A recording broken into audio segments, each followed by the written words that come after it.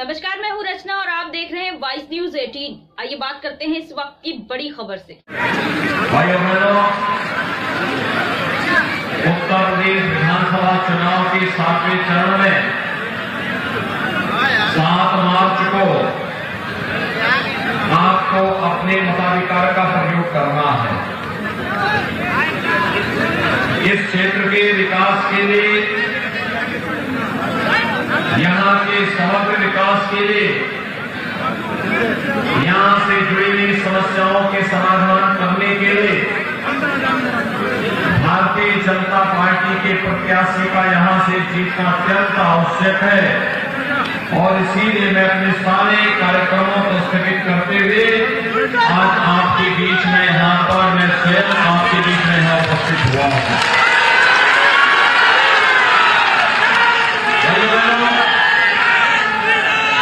आपने पाँच साल के अंदर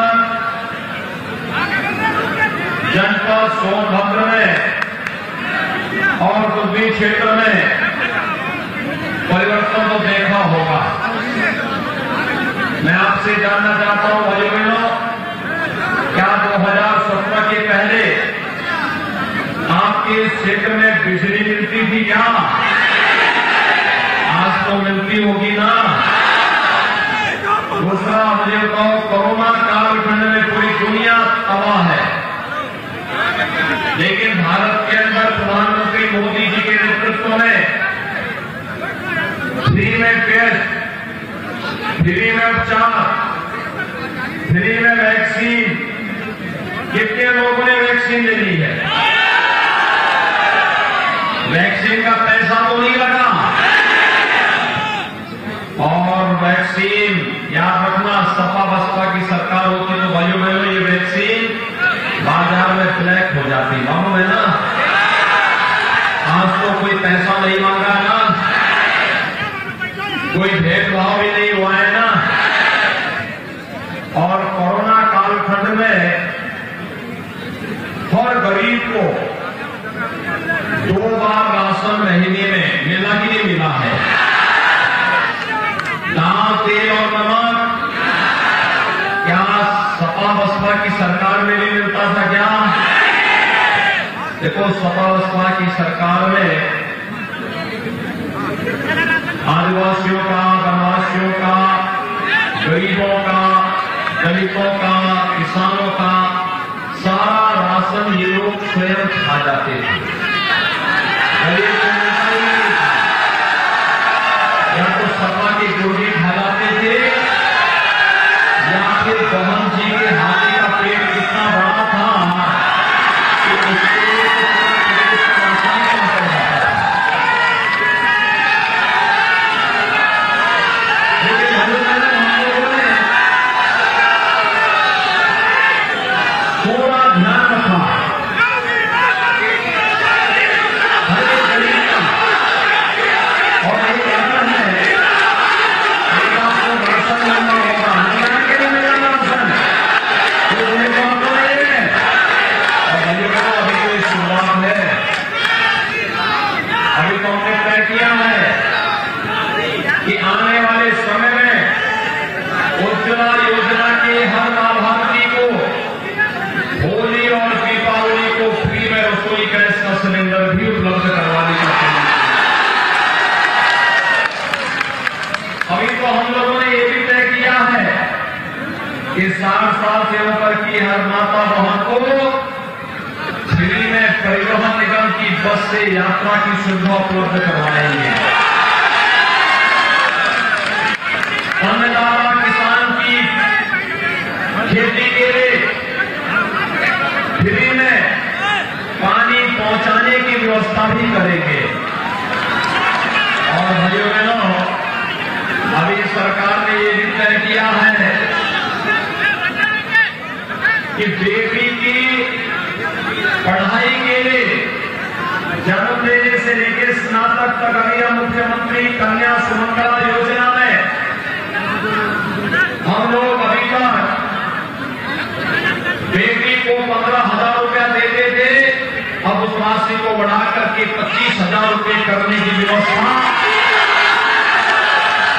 और बेटी की शादी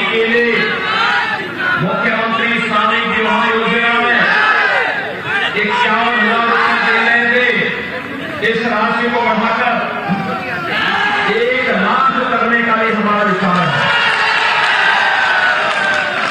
भाई बहनों तो यही नहीं।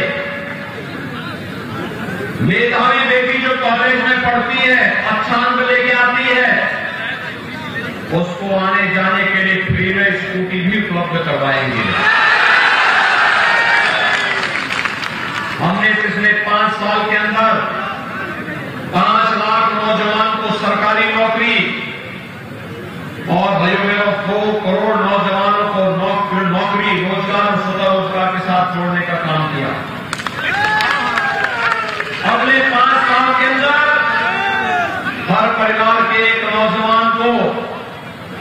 भाइयों बहनों नौकरी, रोज़गार अथवा स्वतः रोज़गार के साथ जोड़ने का काम भी भारतीय जनता पार्टी की रविंद्र सरकार करेगी।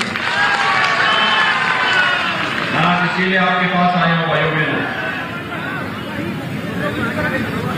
टैबलेट स्मार्टफ़ोन हम आज दे रहे हैं हर नौजवान को समाजवादी पार्टी ने विरोध किया है हमने तय किया है 10 मार्च के बाद अब सरकार बनेगी अब भाइयों बहनों दो करोड़ नौजवान को टैबलेट स्मार्टफ़ोन फ्री में उपलब्ध कराएँगे और जो भी खर्चा आएगा ऑनलाइन एजुकेशन के लिए ऑनलाइन प्रिपरेशन के लिए ऑनलाइन एग्जामिनेशन के लिए ये सारा खर्चा सरकार उठाएगी।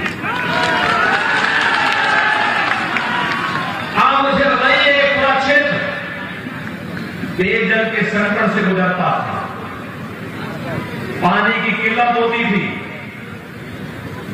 अप्रैल मई तक पहुँचते पहुँचते लोगों के सामने भारी संकट आता था आज तो भाई बहनों भारतीय जनता पार्टी की गवर्निंग सरकार ने हर घर नल योजना के माध्यम से हर घर को शुद्ध पेयजल आरो का पानी हर घर तक पहुँचाने की व्यवस्था बना दी है। बना दी है ना? और यही नहीं, स्वास्थ्य की सुविधा के लिए यहाँ के लोगों को भागना पड़ता था। दूर, लखनऊ, दिल्ली। अब तो हमने मेडिकल कॉलेज आपके सोनभद्र में ही दे दिया है। सोनभद्र में मेडिकल कॉलेज आ रहा है दूसरे क्षेत्र में हमने आईटीआई दिया है तमाम अन्य संस्थाएँ दी है और आज मैं आपको आश्वासन देने के लिए आया हूँ, आपने सुना होगा। हमने तय किया है, अनुसूचित जाति, अनुसूचित जनजाति, घुमंतु जाति, अति पिछड़ी जाति के हर उस परिवार को जिसके पास अपना मकान नहीं है, उसको मकान उपलब्ध करवाने का काम भी हम लोग करेंगे हम एक हाथ से विकास कार्य करा रहे हैं लेकिन जो माफिया गरीबों की संपत्ति पर कब्जा कर लेते थे। गुंडागर्दी करते थे। गरीबों को सताते थे। अराजकता फैलाते थे। उन लोगों को लिए हम लोगों ने बुलडोजर भी तैयार किया है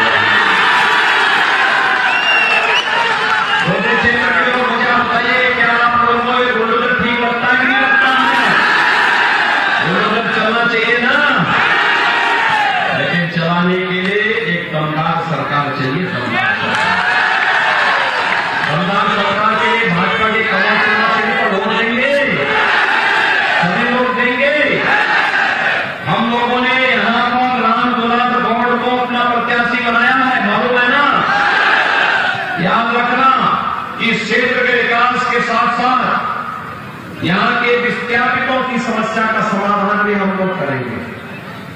और भाइयों बहनों, यही नहीं यही नहीं, महारानी दुर्गावती के नाम पे बांदा मेडिकल कॉलेज का नामकरण भी भारतीय जनता पार्टी सरकार ने किया है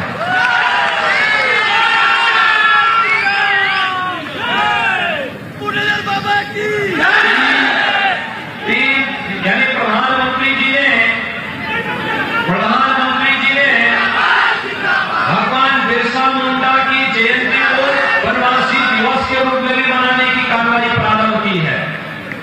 और यही नहीं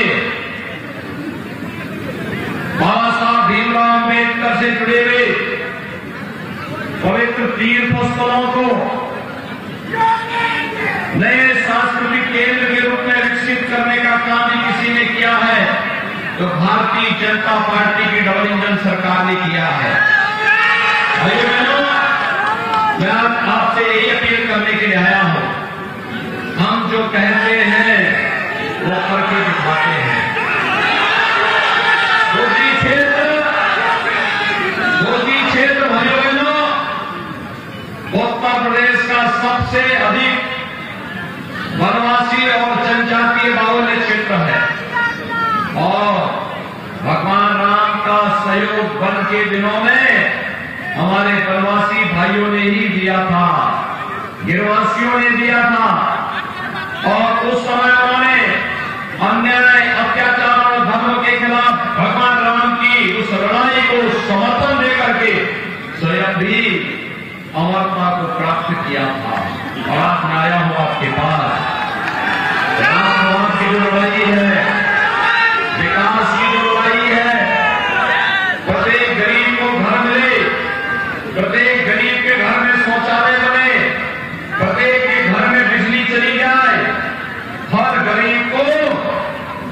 पेयजल की सुविधा उपलब्ध हो जाए, इसको लेकर के भारतीय जनता पार्टी कार्य कर रही है।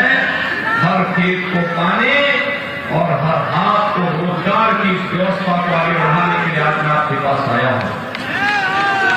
भाइयों बहनों, भारतीय जनता पार्टी के प्रत्याशी श्री राम गुलाल गौड़ को आप समर्थन करेंगे। हमारे मोहम्मद सिंह पार्टी भेजेंगे। यहाँ